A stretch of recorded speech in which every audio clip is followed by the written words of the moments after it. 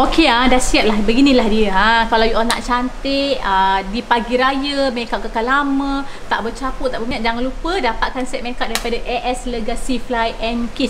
Kenapa you all kena dapatkan produk ni? Sebab pertama sekali harga dia sangat berpatutan.